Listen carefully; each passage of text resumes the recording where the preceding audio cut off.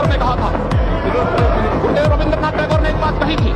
उन्होंने कहा था अगर भारत को समझना है अगर भारत को समझना है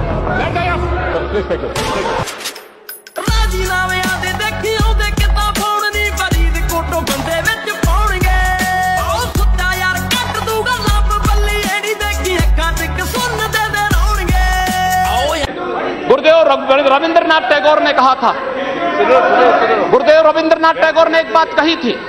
उन्होंने कहा था, अगर भारत को समझना है, अगर भारत को समझना है, बैठ गए आप।